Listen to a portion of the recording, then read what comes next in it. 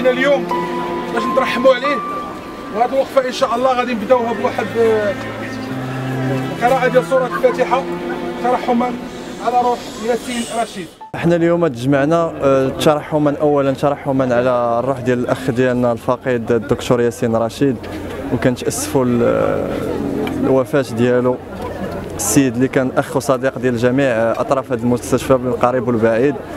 والسبب الثاني اللي تجمعنا عليه اليوم إن شاء الله في هذه الوقفة هو تذكير تذكير والتاكيد تذكير والتاكيد ثم التذكير والتاكيد على الحرص على سلامة والصحه النفسية للطبيب والطالب ديال الطب. لأن شحال من واحد كيهمل هذه القضية وأن الصحة النفسية بصفة عامة في المجتمع ديالنا.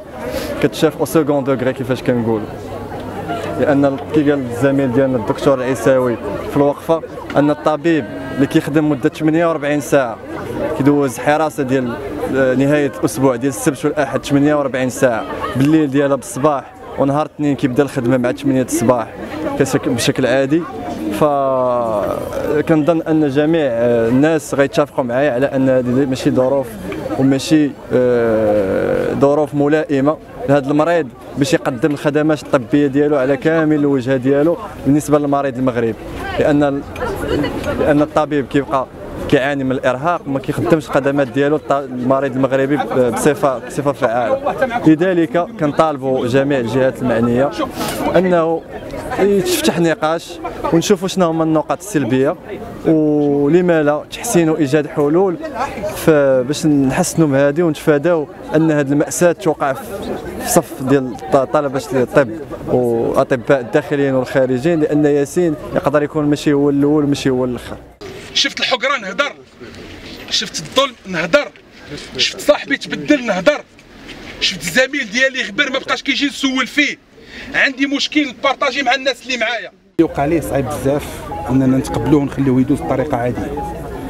كاين حوادث اللي كتوقع كاين الناس اللي عندهم مشاكل وكنحلوهم بيناتنا. ملي كتوصل القضية لأن إنسان يفكر يوضع حد لحياته بسبب الضغوطات كيعيشها فهنا خصنا نوقفوا وخصنا نسولوا راسنا وخصنا نسولوا الناس اللي معانا. علاش؟ علاش هذا السيد سمح في حياته كاملة؟ علاش ما سمحش غير في la spécialité؟ علاش ما بدلش l'hôpital علاش ما بدلش الحرفة بمرة؟ علاش ما مشاش جلس في الدار خدا congé sans salaire واحد العام ولا عامين؟ يعني ما بقى كيشوف حتى شي مخرج بالنسبة ليه من غير أنه يوضع حد لحياته هذا الشيء صعيب بزاف. يعني أن الضغوطات اللي تعرض لها الإنسان باش ياخذ هذا القرار هذه راه ما كانش سهله وما كانش قادر يتحملها. للأسف هذه القضية كتكرر في بزاف ديال البلايص. أي قطاع أي مجال عنده سلة المهملات ديالو. حنا كنقولوا ولله الحمد انه في القطاع عندنا سله المهملات ديالنا كتبقى أقل وحدة ممتلئة بالأوساخ لكن هذا لا يعني أننا خصنا نحيدوا هذه الأوساخ نظرا للاثر السلبي ديالها لا على النفسية ديال الناس وبالتالي على المرضى اللي كيعالجوهم هاد الناس. كيف ما ما غاديش نقبلوا حنا أن هاد الناس يضروا ويتضغط عليهم ويعانيوا راه بطبيعة الحال ما نقبلوش أن المرضى حتى هما يتقاسوا بهذه المعاناة هذه رسالتنا للأساتذة أننا حنا نهار دخلنا لهذه الكلية هذه كنشوفوهم هما القدوة ديالنا وباقي الان لأن أقصى ما يطمح الطبيب أنه يوصل ليه هو يولي موصل للرسالة اللي كيحمل. يعني أستاذ ديال هذه الرسالة اللي هو مقتنع بها واللي متبنيها. فبالتالي بالنسبة لنا هذه الصورة ملي كتزعزع حنا المبادئ ديالنا كتلف.